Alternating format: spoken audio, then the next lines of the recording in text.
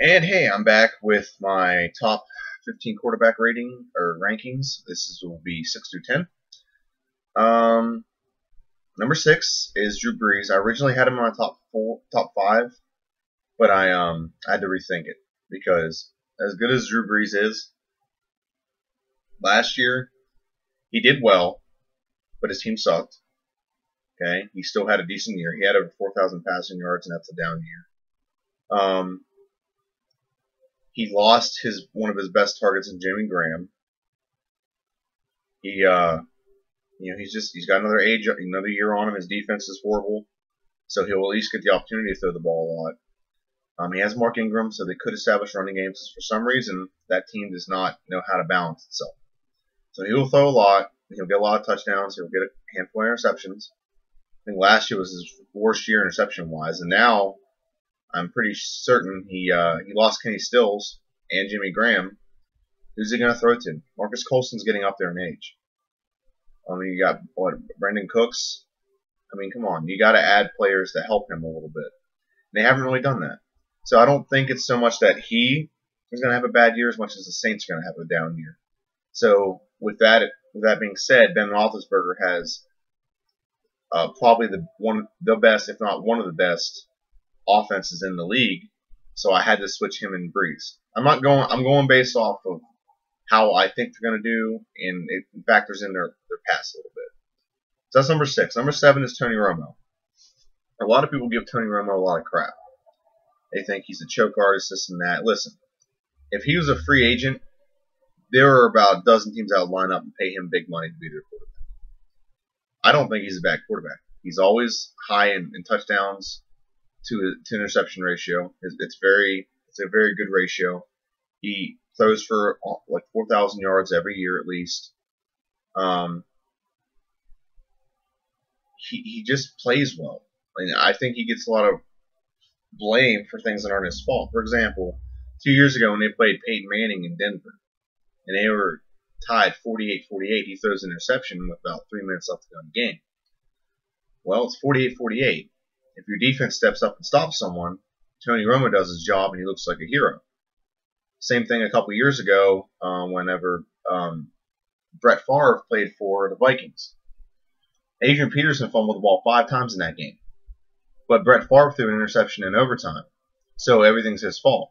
But the defense couldn't stop him in regulation. The defense couldn't stop him after he threw the interception. Adrian Peterson got no blame for, for five turnovers. Well, five fumbles. I think he only. I think they recovered two or three of them. But still, he had three turnovers. And, and prior to that, Brett Favre, I'm pretty sure had three touchdown passes and no interceptions prior to prior to the interception overtime. So what do you blame? You blame the fact that you got to the point you're at because other people screwed up, or you blame the guy that screws up in that moment.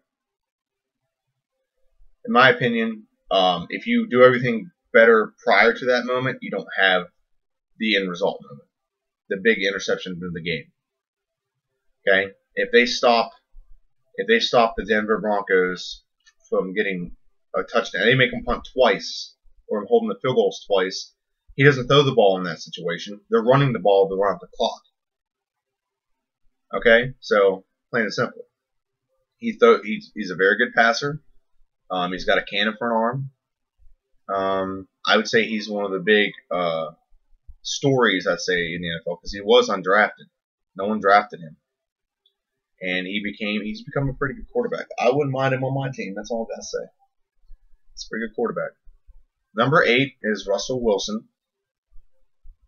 Now I'm, I'm, I'm factoring in the fact that Russell Wilson is consistent. Okay, he has two Super Bowl appearances already. He doesn't turn the ball over. He takes care of the ball really well. He is a huge factor in the in the best running attack in the NFL with him and um, beast mode, Marshawn Lynch. You got to factor in he gets a little better this year. They let him throw a little more this year, so his yards are going to go up. His touchdown pass is going to go up. You also got to factor in one big key thing. He has Jimmy Graham on his team. Jimmy Graham just got added to that team, and they are going to. I'm I'm confident he's going to have at least another 800 to 1,000 yards passing. They're going to let him throw so much more, and he has the best defense in the league backing him up or one of the best, I should say. So I and I think Russell Wilson he takes care of the ball. He runs good. He's smart. Um, he is short, but he finds a way around that. He finds the windows to throw the football. Um, prior to Jimmy Graham, he doesn't really he didn't really have any weapons, and he still was able to throw consistently uh, and accurate, and so on and so forth. So that's why Russell Wilson is at number eight on my list. Number nine, he's on this list a little bit by default, here's why. Number nine, number nine is Matt Ryan. Matt Ryan is number nine because he's not a bad quarterback. For the last few years, he's been on a horrible team. And what I mean by that is the offensive line has been god awful.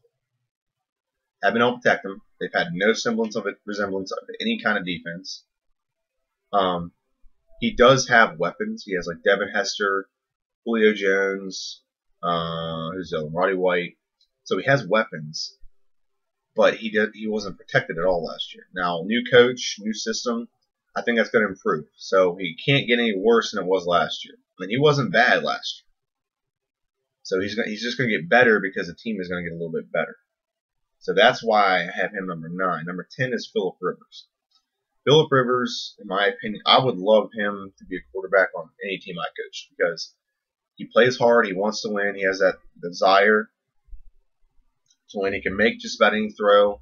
He can make the awkward throws.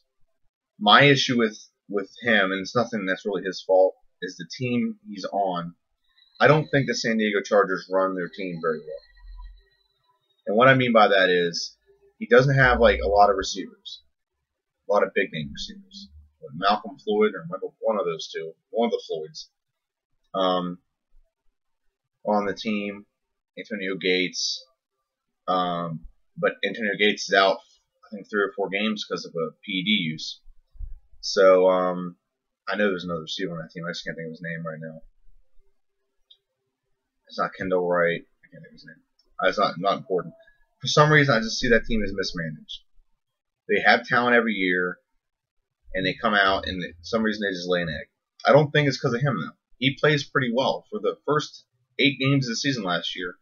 He was up there in in, in um in um MVP rankings. He was right up there with Tom Brady and Peyton Manning and Aaron Rodgers. So um I think he'll do a little better this year. They have um, Branden Oliver. Um, he'll be running. I think Ryan Mathews will be healthy, so they'll have a more consistent running game. Uh, I just don't have faith in their defense. Their defense was supposed to be pretty good last year, and they just didn't show up as much as they needed to. So that's that. Um, he is personally one of my favorite quarterbacks to watch, but I don't see him being. I see him being better than he was last year, but he's not going to be. T- he's top ten. I mean, that's the best I can do for him. I can't honestly put him above any of the other nine. So that's my video for 6 through 10. I'm going to go ahead and do my video for 11 through 15. Alright, thank you.